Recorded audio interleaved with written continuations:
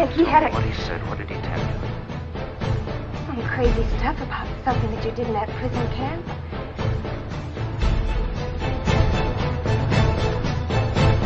Do I have to spell it out for you? Do I have to draw you a picture? I was an informer. What did he tell you? You're lying. You're crazy. He told me you were crazy. But what have you done? What are you going to prove anyway with your vengeance, your violence?